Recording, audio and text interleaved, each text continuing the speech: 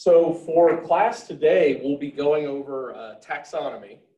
And so this is kind of bridging the morphology unit we just did with what we're going to be doing next. And so in the next unit in class, we're going to be uh, practicing identifying unknown species. And we're going to do that in a series of phases that simulate different situations. Uh, so as I just discussed, on Thursday, we'll be using online resources to identify pictures and descriptions of trees that people might send you. Then what we're going to do all next week in class will be in here. And next week, I'm going to bring in a bunch of actual specimens I collect. And what you all will do is you'll work in groups. And next Tuesday in class, be sure to bring in all the course textbooks you have and any tree ID books that you want. And we'll simulate if you're out in the field and you don't have access to internet or Wi-Fi and you're trying to identify unknowns if you're doing field work. And so we'll use print resources, dichotomous keys. We'll go over all that next Tuesday, and then you'll try and identify the unknown species that I bring in. Um, then what we're going to do Thursday is we're going to put those first two together. So I'm going to bring in a bunch of uh, specimens on next Thursday, and you can use your phones, computers, tablets, books, whatever you want to try and identify those unknowns. And for each of these days, it'll be bonus points uh, for however many of the unknowns you're able to identify. So taxonomies kind of kind of bridge the morphology lecture to the um, identification exercises. And so when we look at taxonomy, how I have this lecture set up, basically there's whole courses on plant taxonomy at the junior, senior level, graduate level. It's a huge field, but we're kind of going over it in about 50 minutes, all of it. So uh, it's going to be kind of the 100,000 foot overview of a much broader topic. So with plant taxonomy, uh, we do it for a number of different reasons. Uh, organization is going to be really important. And you'll see as we learn more and more and more species in lab, keeping them all straight becomes a more and more difficult task. And so by using what we learn about plant taxonomy, it's actually going to help us organize all this complex information. And it actually becomes easier the more species you learn to remember the scientific names than even the common names. They they tend to make more sense the more plants you learn. Um, the other reason we're doing it is for communication. Uh, so when you're doing a research paper or looking at old literature, you know, we've got those scientific names. So as the common names may change over time or may be different in different places, the scientific names will help us communicate all over the world uh, with folks talking about these same species of trees. And some of our tree species really do have a global distribution now. Ginkgo biloba is planted all over the world as an ornamental. Loblolly pine is planted all over the world uh, as a timber production tree, even though it's only native to the southern U.S. Um, with taxonomy, it's now done on a phylogenetic basis. And this kind of builds around the idea of Occam's razor, where all of the things being equal, the simplest explanation is likely to be most true. So a lot of our taxonomy, it used to be all done morphologically.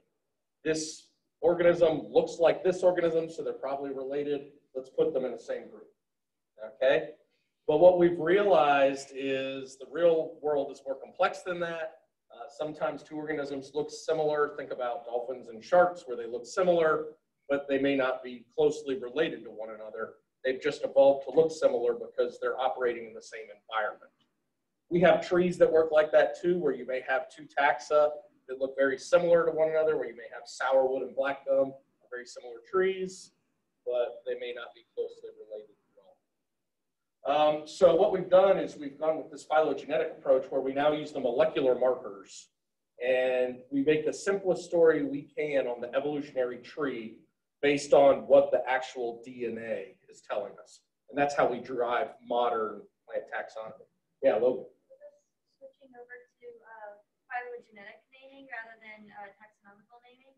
Um, don't we run into the issue sometimes where uh, an organism changes genus or we put it in a different genus? Yeah, so, so it's all still taxonomy. We're just using phylogenetics based on molecular information now more than morphology, but it's all still taxonomy. And it is changing uh, some of our classification. And, you know, we, we have to keep up with that. It's difficult to keep up with. And so to give you some examples, in class this semester, I'm using USDA plants as our source of taxonomy. And so in forestry, we're kind of in a unique middle ground where we work with members of the public, we work with loggers, Uh, many loggers may have a high school education and we're communicating about these different tree species with them. We work with other foresters, you're working with all sorts of different professionals. So we need to be able to communicate to a lot of different people. So USDA plants is kind of a middle ground where it's not as up to date as the most up to date molecular data is suggesting. It's not following the angiosperm phylogeny group's third revision, for example, if you're familiar with that, but it's not so out of date as some older textbooks maybe. So it's kind of a middle ground. Uh, but if you look at the most up-to-date taxonomy, the maples have been moved to the Sapindaceae family. Sweet gum's been moved out of the Hamamelidaceae into the Altingiaceae. Uh, sugarberry's been moved out of the elm family and into the Cannabaceae family. Uh, the viburnums have been moved over to the Adoxaceae. So it has changed our understanding. We, we started with one kind of view of the tree of life here, if you will, and we've realized we got some of the branches wrong. Um, so that, that can be frustrating because you learned it one way and now it's something else. Uh, but they're revising it because we think the way you we learned it might have been a little bit wrong. So we're kind of running a middle ground here. The nice thing about all the taxonomy we're learning is it's it is uh, hierarchical, uh, which means it's built on levels. Uh, where you've got bigger groups that are subdivided into smaller groups, which are subdivided into yet smaller groups all the way on down, and that really helps us understand it better. A lot of this started uh, with Carolus Linnaeus, a Swedish biologist who classified a lot of different taxa in the mid 1700s. Um, and so when you look up a tree name today, when you look in the literature, you might find loblolly pine written out as Pinus taeda, and after that it'll have an L period. Um, our different taxa will have different botanical attributions, where they're attributing credit to the person that first described that species. And if you see an L period after it, that's Linnaeus. So Linnaeus described a lot of our taxa, including loblolly. Uh, Linnaeus also uh, put together that binomial system where you have the genus and the specific epithet, and you use both to refer to a plant. Uh, so came up with a, a, number of different innovations, then did a lot of work uh, classifying organisms.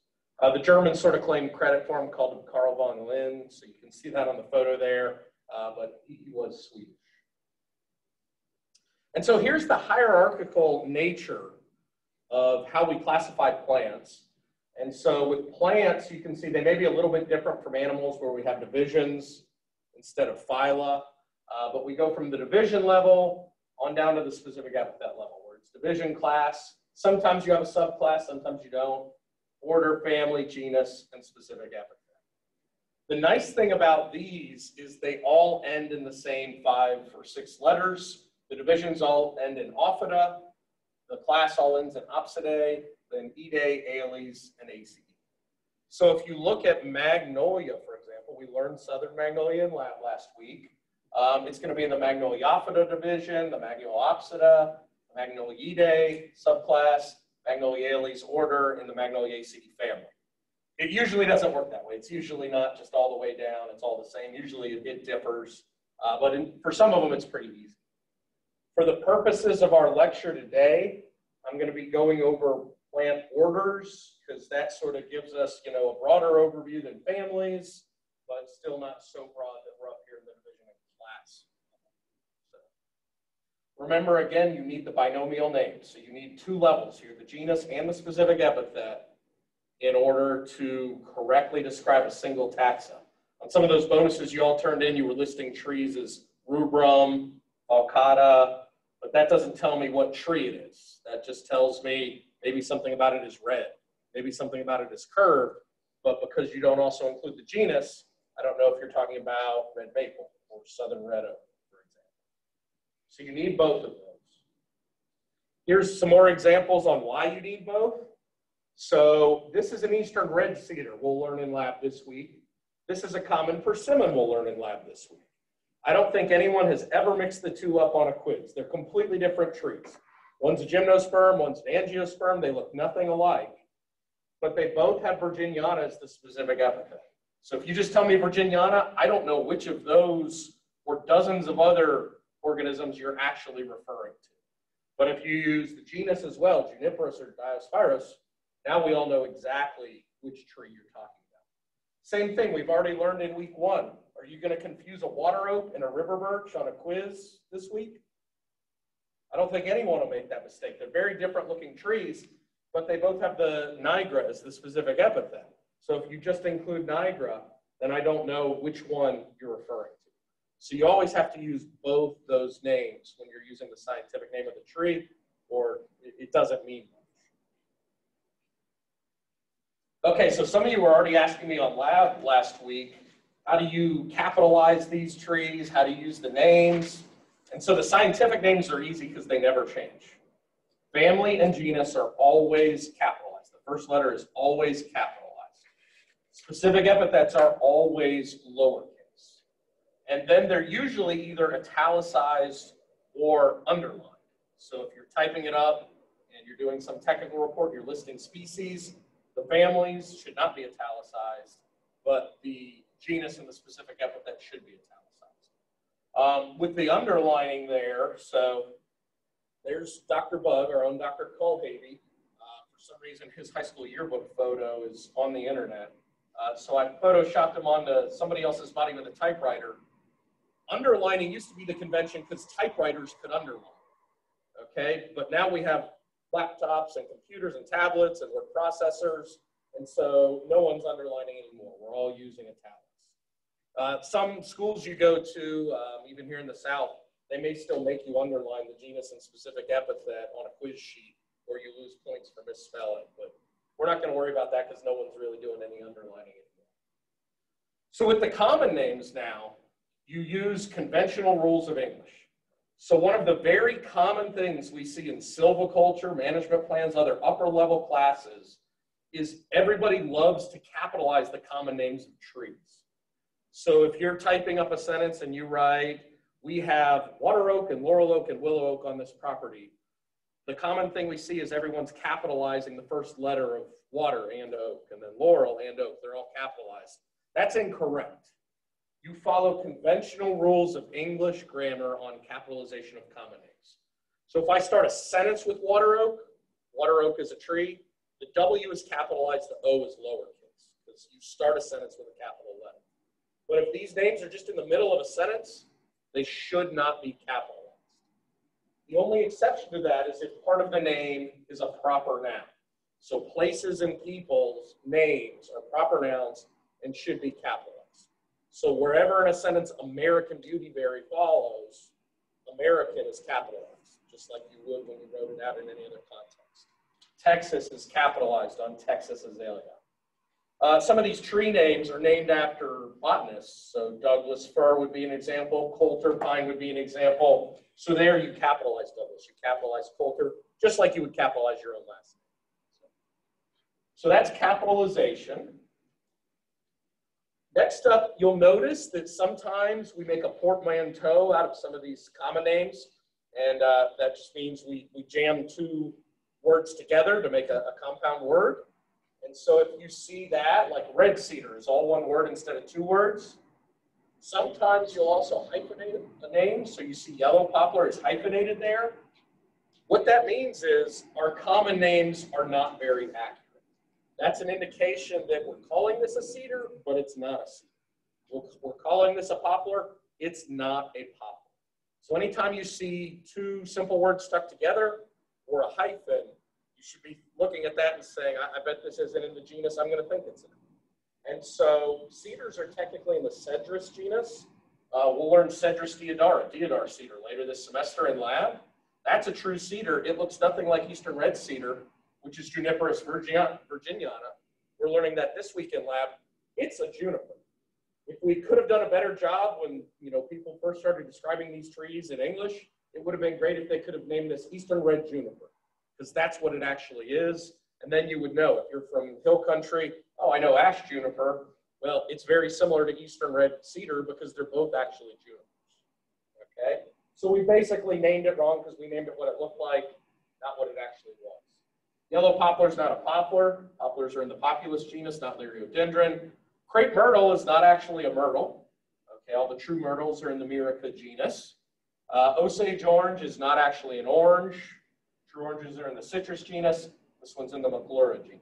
So if you see a hyphen or name stuck together, just know that the common name is. It's Sometimes you'll see an X in a common name, Prunus X yedoensis. Okay, so what kind of trees do we have right here by the Washington Monument? Dogwoods is a good guess. They look like that, but it turns out they're not dogwoods. Lynn way in the back there. Yeah, they're cherry trees. Uh, specifically, these are Yoshino cherries that were given to the U.S. by Japan uh, as a gift. And so Yoshino cherry is a hybrid cherry. So this X means they took two different members of this Prunus genus, they hybridized them, and then because this hybrid became so common, they decided to name the hybrid of those two other parent species. So in this case, they named it Yedoensis, but the X lets you know it's not a standalone species, it's a hybrid of two other species. Now, as species uh, are less closely related, it's less likely that the hybrid will be viable. And so the X is almost always between the genus and the specific epithet, because what you had is you had two oaks, Quercus and Quercus, that were able to hybridize. You had two pines, Pinus and Pinus, that were able to hybridize. But imagine trying to hybridize a pine with an oak. That's not going to do anything. That's not going to produce viable offspring. So you almost never see two different genera that could hybridize. We used to think we had one with Leyland cypress, Leyland cypress, so it would be X Cupressocyparis leylandii. And so that's pretty remarkable where they thought it was a tree of a hybrid of two different genera. But then they realized they were just wrong. Um, and so it wasn't what they thought it was. And now it's considered some hybrid between two trees within the same I'm not aware of any examples where you have two different genera successfully hybridizing into an unnamed hybrid. But you're going to see this with a lot of cherries. You're going to see this with a lot of oaks, a lot of poplars, a lot of pines. So these taxa where we have a lot of organisms in one genus, that's where you tend to see a lot of your hybrids. Sometimes we split things up within a species level. So with taxonomy, we've got splitters that want to see every little minute difference and say, hey, that's a new thing, that's a new thing. And then we've got lumpers where, you know, I think most foresters, wildlife biologists probably fall into that lumper category where you just look at it and you say, hey, I can manage all this the same. Let's just call it the same thing. I can treat all this the same. Let's just call it the same thing. Who cares if the leaves are slightly different colors? You know, they have similar silvics, they have similar ecology. Let's not worry about it. So here's an example where there are actually three different species of basswoods. We're going to learn Tilia americana variety caroliniana here. Um, and that, that variety has a southern distribution. If we looked at variety Americana, that would have a more northern distribution. You might find that in Virginia, northern Arkansas. Um, and then there's a third one, variety heterophylla. We do have those here in East Texas. They just have really white fuzzy backs on the leaves. That's the only difference. These are all the same tree. So we'll learn Carolina basswood in lab, but you'll recognize American basswood or white basswood. You see them because they are the same species. They look like the same tree. Minor morphological differences, and so we call that a variety. So if you see VAR and a, and a third name, that's what's going on there. So when we learn Carolina basswood, you get to fit this whole thing right here into that little specific epithet box on the quiz sheet. So right small. Sometimes we'll have subspecies. Subspecies is the same idea as a variety, minor morphological differences within a species. Uh, so we're going to learn Sambucus nigra subspecies canadensis, American black elderberry, this semester. Uh, they've abbreviated SUBSP here, but often you see just SSP, subspecies. That's the abbreviation there. And so again, you've got to fit Niger subspecies canadensis all in that specific epithet. Okay, um, what I want to talk about now is different levels of identification.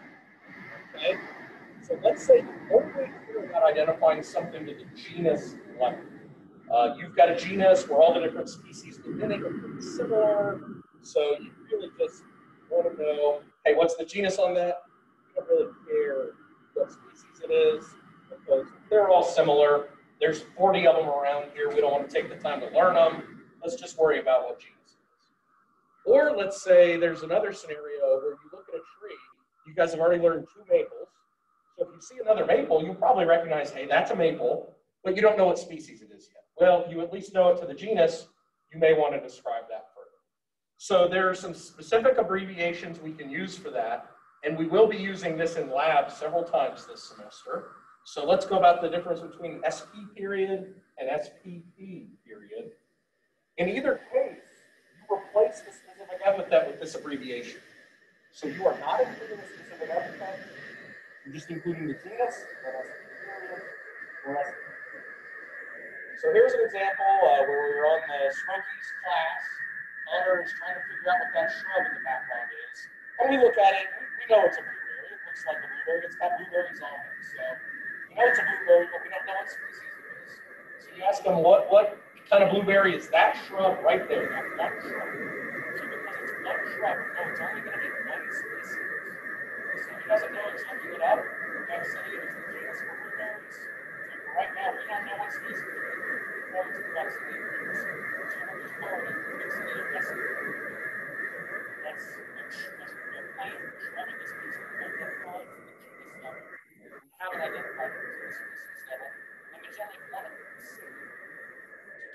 describe this is a genus, unknown specific epithet, and it's single. Okay? Okay, so here's another example. This one, this one, we're looking at salamander. What kind of salamander is it? Well, in this case, there's a lot of dusky salamanders. They're in the Desmognathus genus, but there's like 15 of them, and they all look really, really similar. Um, and so, you know, if she's got two of them in her hand there, or we just don't care which species it is, then it's Desmognathus spp. So we're saying we've got this group. There may be multiple different species here, but we know they're all in the same genus. So all we care about is what genus they're in. So the best way to describe SPP period is you know the genus, you don't know the specific epithet, but either you don't care about the specific epithet or it's plural. You've got multiple individuals that may be multiple different species. So think of it as plural unknown specific epithet. Here's another example where we'll use this in uh, lab. So uh, there's Mike Hartford out during timber cruising week of field station. I, I didn't think it was going to work when he did it. We had a stand where the blackberry was like 15 feet tall and really, really thick. It was tearing people up. So he duct taped bark from a dead tree onto his jeans to make himself some uh, impromptu chaps there. Turned out it actually worked pretty well. But here's Mike back tired from lunch. How's timber cruising going? The blackberry genus is rubus. That rubus SPP almost killed me. There was a bunch of it out there. It was probably a bunch of different species, but all we care about is knowing it to genus. So when we learned blackberry and raspberry in lab this semester, you can put rubus in the in the genus box, SPP period in the specific epithet box, and that's full credit on a quiz. Okay? Because there are lots of species of blueberry, we don't care which one. When we learned hawthorn in lab this semester, there's like 40 different hawthorn small trees native here in East Texas. You know, that would be probably 20% of our whole tree list, just hawthorns. So we're just going to learn them all lumped together, basically. Uh, we just need you to know that it is a hawthorn. It really doesn't matter as much which hawthorn it actually is. Okay, so that's a little bit on some of the conventions with scientific names, some background on taxonomy. Uh, we've got two more things I want to go over for the rest of the day. Uh, one is I want to give you again that 100,000 foot overview of basically how all plants evolved and we classified them. So you can kind of see that rough tree of life for plants with a focus specifically on woody plants. And then what I want to do is talk about a little what I call non-taxonomic taxonomy, some of these different groups of trees uh, that we use and how we describe. So I'm going to show you a bunch of diagrams like this. And so they generally work from the left to the right. As evolution is progressing in time, you're moving from the left to the right. As you accumulate more differences with mutations and speciation occurs, you get splits into more and more taxa. Now you can see on here, some of them are lowercase and italicized. Some of them are uppercase and bolded. The uppercase bolded ones have some significant woody species in them. The lowercase italicized ones really don't have much in the way of woody species in them, um, or they're just not around anymore, okay? And so as we look here, we start with all land plants. Let's think about it. You've got plants that are in aquatic environments, oceans, lakes, streams, and then eventually somehow they manage to move onto land. And so you get your first land plants developing. And so if you're looking at that very first community of plants on land, that have been used to living in water, What's one of the first things they have to develop now that they're living as a community on land? So they need what? Lungs? Lungs? Well, plants don't have lungs, oh. right? Yeah, you're thinking animals. Animals would need lungs, but not plants. So what's the first thing this community of plants needs is they start competing with one another. What do they have to start being able to do that they didn't have to worry about in the water? So what's that? Retaining water is going to be important. They have to come up with ways where they can dry out and survive or not. And so uh, one of this groups here, the bryophytes, we'll talk about in a moment, has gotten very effective at that. Okay, so that is important. What else are they going to have to do, though, as they start competing with one another? So you've got all these plants, they've been in the water, just floating, and now they're on land, they're right beside each other. They're going to have to start rooting. Yeah, absolutely. They're going to have to start because they were getting nutrients from the water. Now they have to go get it from the soil. So they are going to have to develop rooting. Saw Tim's hand go up in the back. Exactly. They have to get taller. They can't just float higher up in the water to get more light now. They have to grow in height, which is going to lead to root development. And so with that, they basically need to develop plumbing. They need to get taller. They can't dry out. So they need to be able to get water from the soil up to the top of them. And so they develop plumbing. Okay, they develop tracheids. And so that's why we have the tracheophytes developing here, which all our trees today come from, versus the bryophytes. We still have a lot of bryophytes around. Those are mosses, where they're not very tall. They can dry completely out. Then you wet them up, they come right back to life. Mosses, liverworts, and hornworts. So that they don't really have stems that have any significant height. So no trees there. Okay, so we've developed plumbing. Then you split into two more groups. So we have to think about what we develop next. So you've got height growth now. So they're at, at height competing with one another, where the tallest ones are going to get more light. But what they what can they do once they're tall now to get even more light, even if they're taller than something next to them? Yeah, they can get wider. Okay, so yeah, develop leaves, right? So a leaf is just a solar panel, basically. You can think of it that way. So they develop leaves. Uh, so you have the lycophytes where they just have photosynthetic branches. So they did get wider.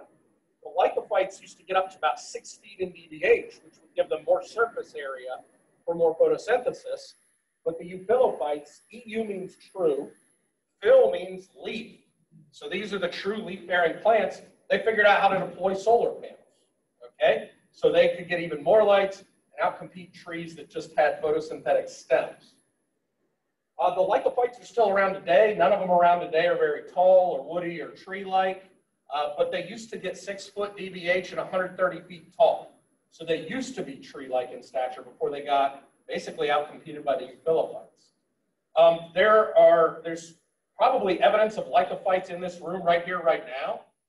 They got that big during the Carboniferous period, they fell down in inland seas and swamps. They got sedimented in over time, and pressure building up over time, as this happened over millions and millions of years, compressed them into coal. So we're burning coal here in East Texas that's got some of these lights on right here, right now. And some of that probably would have come from lycophytes 130 or more million years ago that are now coal. Um, so there's the lycophytes and the euphyllophytes. And then all our plants basically evolved from the euphyllophytes that we're learning in lecture and lab. Ferns and horsetails, not many trees or woody species there, so we don't learn about them this semester. And we've already talked about angiosperms and gymnosperms, our first big division uh, for our, our different woody species. And of course, there's a lot of non-woody members that are angiosperms and gymnosperms as well, but we're really just focused on the woody ones. Let's start with the gymnosperms first. And we're starting here because there are fewer of them, so it's simpler to go over it. And we can actually go over these at a greater level of detail because it's not as diverse as the angiosperms. We only have four orders of gymnosperms, and I'll talk about those in just a moment. But let's uh, start with the coniferales, because when we think gymnosperms, most of what all of us are thinking is going to be in the coniferales. Uh, depending on the taxonomy you're following, you might also see this listed as the pineales, same thing. There are only seven families there in the Coniferales.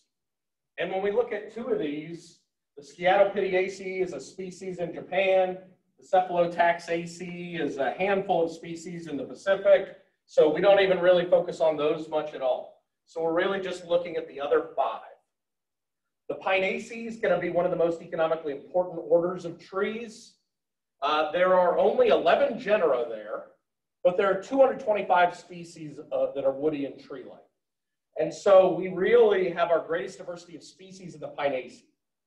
These are primarily found in the Northern Hemisphere, but not exclusively. The Cupressaceae now has 30 different genera. So it's got more genera by far than any of these other families, but only 133 species. So not as many species, but a lot more genera. So very diverse within the Cupressaceae. And they're found on every continent except which one? Antarctica doesn't have trees, a little cold. Um, so they're found on all six other continents. The Podocarpaceae is primarily southern hemisphere. Uh, we're currently aware of about 185 different tree species in the Podocarpaceae, but we've done less research on our southern hemisphere forest compared to our northern hemisphere forest. So it's possible that the podocarps are actually the most diverse uh, family that we have of gymnosperms. We just have to discover them. The Araucariaceae has three genera and 41 species. Uh, and these are almost exclusively southern hemisphere. So we'll talk about these when we talk about trees of Australia and South America, the Agathis genus, the Araucaria genus, and the Wollemia genus. Taxaceae is your yews um, and your torreyas, uh, except for a few species where they're uh, extracting uh, chemicals that are used in chemotherapy. These are largely understudied, but you're only looking at about five uh, genera there, not very many species. So that's basically all the coniferales. As we look at those other three orders of gymnosperms, the Cycadales, you would look at it and think you had a palm tree. Uh, you do see these planted ornamentally in the South and East Texas, so you can certainly see these around. 300 species, two or three families, 10 to 12 genera. But when you look at them, you would never think, hey, that's a gymnosperm. Ginkgo is a pretty easy order. The Ginkgo Ginkgoales order just has this one tree, and a Ginkgo biloba is monotypic. It's the only member of its order. It's the only member of its family. It's sort of a you know evolutionary dead end. Everything that was more closely related to this tree is now extinct. So you can kind of describe it as a living fossil for that reason. So, so there's one tree in the Ginkgoaceae. Uh, in the Gnetales, you've got these three families uh, including some tropical vines in the Gnetaceae. Uh, the Welwitschiaceae family has this one weird species, uh, Welwitschia, and this is found out, you can see how arid this area is. It's just rocks and then only this plant. That thing could be 100 years old, okay? Uh, so they just sit there, they don't look like much, but they're surviving very harsh climates. And then we will talk more about the Ephedraceae when we talk about trees in South America. Um, these are used for stimulants, so you can get ephedra out of it. If you take Sudafed, that's pseudoephedrine. So it's a synthesized ephedrine. And the, the one thing everyone knows ephedra has gone on to be used for, it's one of the ingredients in methamphetamines. Uh, so there's a lot of trade for uh, drugs uh, based around chemicals that can be naturally produced in this Ephedraceae family. and then the coniferales, I already talked about all the families in there, but again, this is going to be our most economically important order of trees probably in the world. Okay? All the species that we have significant timber management in, in most parts of the world where we have plantation, forestry, very intensive management, it's almost all in the coniferales, where we're managing spruces, firs, pines, larches, um, those sort of taxa. Okay, so that was all the gymnosperms in a couple minutes. Uh, next up, we have our angiosperms. And so when you look at our angiosperms, almost all our angiosperms are down here as either monocots or eudicots, true dicots. And we already talked last class a little bit about the difference between monocots and dicots. Um, but what I want to go over before we break those down even more is look at the primitive angiosperms here, where we've got the Amborellales and the Austrobaileales, the trees in them.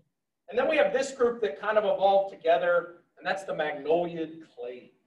And so that's four orders, the Magnoliales, the Laurales, the Canellales, and the Piperales. So I'm going to go through these two first, then we'll go through the magnoliid clade, and then we'll break down the monocots and dicots a little further. So Amborellales, like the Ginkgoales, is monotypic. It's got one species left in the whole order. I think it's the oldest living angiosperm, or sort of, you know, the modern representation of that first evolved angiosperm that's still around at least. Um, and so it's found on this tiny island out in the middle of the Pacific, east of Australia, um, Amborella trichopoda.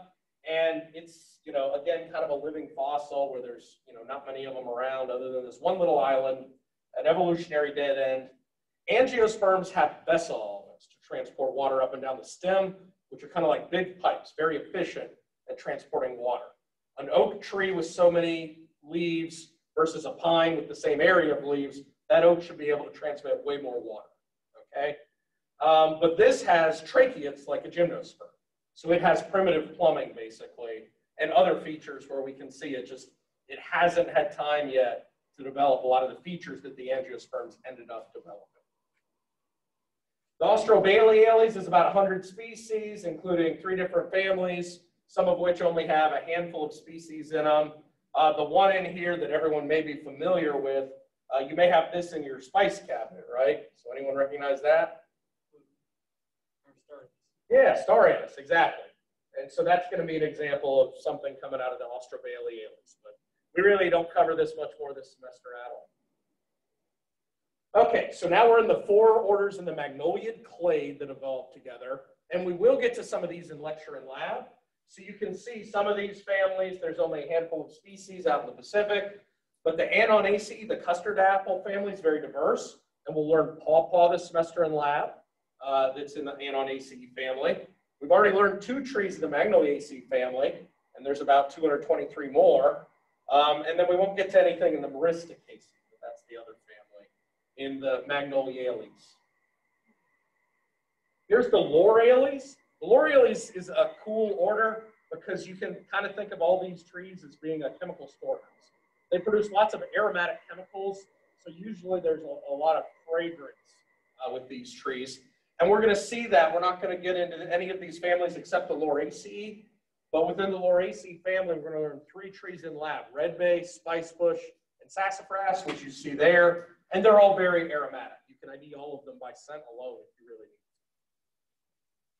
Here's the Canellales. It's only 136 species. They're also very aromatic, so we're seeing a lot of that in the magnoliid clade. And we're going to learn uh, one member of the Winteraceae family from South America uh, later this semester, Drimys winteri. There's the Piper Piperales. We really don't get into this at all this semester. Uh, the Aristolochiaceae, the birthwort family. Uh, and we do have Dutchman's pipes, or the common name for this vine. We do have these growing here in East Texas.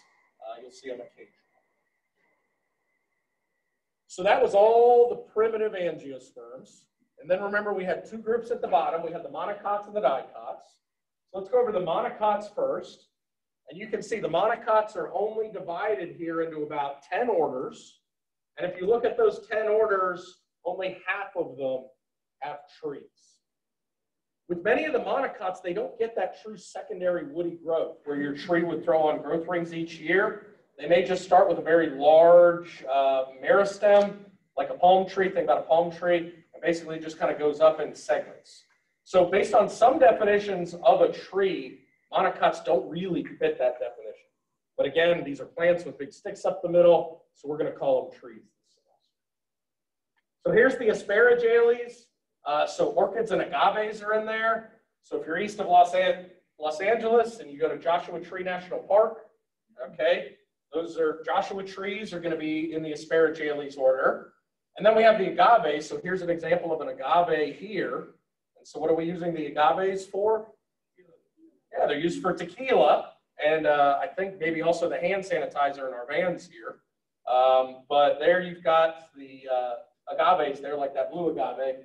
Uh, we're going to learn yuccas, you know, that look very similar to this this semester. So few in lecture, few in lab. We've got the pandanales, which again, like the Cycadales, which was a gymnosperm, they're tropical. Everyone looks at them and says, oh, that's a palm tree. They look just like palms. Uh, we won't get into them much at all. But here are the true palms and the Arecales. Uh, these used to be in the Palmaceae, so they changed the taxonomy around a little. These are very economically important in tropical areas within the world, and all parts of them are used for all sorts of different things. Uh, from the, the leaves can be used for different types of roofing, parts of palm out of the stems can be used for food. Uh, the fruits produced by some of them, like the coconut palm, can be used for food. Um, they can be used for building materials, fibers. So uh, there's lots of uses in lots of parts of the world uh, for different palm trees. Of course, they make a great ornamental as well, right? So very economically important, very diverse. We've got the Poales, that's the grass order. So all our grasses are in that. So this, of course, is going to be critical for rangelands, right? Where they'll have many, many different types of grasses. Some of our more open woodlands have many different species of grasses, but only a few of them are going to be woody and grow like these bamboo examples here. So we'll get giant cane in lab, which is a, a larger grass species that can get 20 feet tall or so. This Poales order is probably the most economically important order of plants in the whole world. Why would that be? What's in this group? Yes, I heard someone out here say wheat, corn. So a lot of our cereal grains are in the Poales. Wheat, corn, barley, rice. So a lot of our cereal crops, and thus most of our food, um, actually comes out of the Poales order. Although none of those taxa are talk about them much this semester. Uh, here's the zinc Zingiberales. Uh, that's got bananas in it as an example. And of course, we've all seen the, the issues with bananas now where they're mostly all one clone. That clone is susceptible to a disease, and so it's not looking good for a lot of the production bananas right now. But there are other species there as well. And so that's it for the monocots. That's all the monocots in a couple minutes. Um, because the dicots are so diverse within the angiosperms, I really can't get into much level of detail with you. They're split into the primitive eudicots, so we can look at these four families, give you a little detail there. But then I'll show you how many uh, families are in uh, the rosid clade and the asterid clade, uh, which are two largest groups of dicots. So as we look here at the primitive dicots, uh, we've got a few different families here. The Proteaceae has macadamia nuts in it. We, most people think macadamia nuts come from Hawaii. They're actually from South Africa. They've been moved to Hawaii. So there's an example there. Uh, the Platanaceae that we'll learn American sycamore in this week in lab.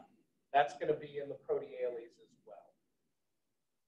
The Trochodendrales is this weird group with two species in Asia, and they kind of evolved backwards, which is unusual. So their ancestors, if we think they had vessel elements, but then uh, these two members of the Trochodendraceae, they went back from vessel elements to tracheids, which is the more primitive feature. So kind of a, a move backwards in evolution, which is unusual. We've got the Caryophyllales that's incredibly diverse, over 11,000 species, 6% of all dicots. Uh, it includes cacti, a whole bunch of other taxa. And then we've got the Santalales. Uh, this includes some parasitic vines. Uh, so we've already seen mistletoe, that big green ash we learned last week in lab had mistletoe on it. That's a member of the Santalales. So we've already seen some of these. And that was the, the primitive, more primitive dicots. But as we look now at the rosid clade and the asterid clade, this is all the level of detail I have for you. Because this is tens upon thousands of species. Um, so as we look through here, we see a lot of orders that do have a lot of trees in them. And so you can see the Fabales has our legumes in it. Uh, the Rosales has all our plums, cherries, trees like that. The Fagales has all our oaks, beech, chestnuts in it. Uh, the Sapindales is going to have our maples in it. So a lot of the trees that we're learning in lab are going to be in the rosid clade. And then a lot of the trees we're learning in lab are also going to be in the asterid clade, uh, where we have the aquifoliales here, uh, which has our, all our hollies in it, the cornales with all our dogwoods, the ericales with a lot of our blueberries and other ericaceous shrubs, um, the asterales with species such as eastern back. So again, not much detail at all, but it's because there's thousands upon thousands. Very, very good. Okay, so what I want to wrap up with today in the last few minutes just giving you a few examples on some of what I'm calling non-taxonomic taxonomy. So some of this is actually based on taxonomy, where we have different groups of plants that evolve different traits. some of this is just based on ways that we've come practically to describe different groups of trees, and it may have very little to do with how they're actually related from a taxonomic standpoint. So we've got soft pines and hard pines. All the pines we're learning in lab are hard pines. So these are all going to have two or three needles per fascicle. The umbos on the cones are all going to be armed, so they're all prickly. The wood's pretty hard, which is why we grow a lot of these species and manage them for timber. Okay? The soft pines, uh, there's examples we'll learn in lectures. So eastern white pine, western white pine, uh, they have five needles per fascicle. The fascicle sheath falls off, so it's less visible. You can grab those cones. They may have resin on them and be sticky, but they don't have those prickly armed umbos. And they generally have softer wood. These are the trees that you see Stihl using in timber sports on ESPN because it makes you look real strong uh, when you split a tree apart with an axe real quick because it's got really soft wood. So uh, we're not learning any of these in lab though. We don't have any native to East Texas. We're learning a lot of hickories this semester and we've got these true hickories versus the pecan hickories. And so we've already learned a true hickory, last week shagbark. And generally the true hickories don't have very many leaflets. The leaflets out at the apical part of that compound leaf, so towards the tip, have bigger leaflets. The husk on the nut won't have a wing coming off it, and we haven't seen that yet. Um, and then they'll have imbricate scales on the buds. When you think about pecan and the other pecan hickories, like bitternut hickory, they have a lot of leaflets. All the leaflets are similar in size. The buds look different because they have the two valvate scales on them, although they don't really look like tulip poplar buds at all. And then they have far fewer bud scales. So that's the difference between true hickories and pecan hickory. Okay, I already talked about this with my lab groups last week, uh, but for the other folks, we've got red oaks versus white oaks. So the one way to tell them apart is bristle tip on the leaf. Red oaks have it, white oaks don't there'll be a little bristle sticking off the end of the lobe each leaf. Um, the one wood difference is right here. So red oak doesn't have tyloses, white oak does have these tyloses, and they keep the wood from leaking when you make it into a barrel. So cooperage is barrel So wines, whiskeys, beers, other thing we're aging in barrels is in white oak barrels, not in red oak? And so that's a huge industry from Missouri east on over to Kentucky major hardwood industry. There's two wildlife differences. The acorns are generally more astringent with more tannin on red oak, so less preferred, and the acorns are generally more palatable with less tannin on white oak. That there's a lot of variability. It's a more complex story than that, but uh, pros over And then from the time the pollen hits the flower, it takes you two years to drop an acorn on the ground with a red oak. It takes you one year to drop an acorn on the ground with a white oak. And so the, the flowers that broke open right when COVID started back in March here on our spring break, they're going to drop acorns for white oaks this year. Next fall, they'll drop acorns for red oaks. And that means if you have a freeze, late freeze in March or April that kills those flowers, the, the fall after the freeze, no white oak acorns. A year and a half after the freeze, no red oak. So from a wildlife standpoint, have both types of oaks. That way, if something happens, hopefully one of them will produce fruit in a given year. And then we talk about hardwoods and softwoods. Generally, hardwoods, we mean angiosperms. Softwoods, we mean gymnosperms. There are absolutely examples where you can find many hardwoods like oaks that have harder wood than many softwoods like pines. But there's examples the other way. You take a slow-grown longleaf pine and try to put a nail into it, compared to a birch that you've grown quickly, you'd much rather put the nail in that birch because uh, it's going to be soft. So, not a universal truth, just keep in mind, we really need angiosperms and gymnosperms when we talk about hardwood versus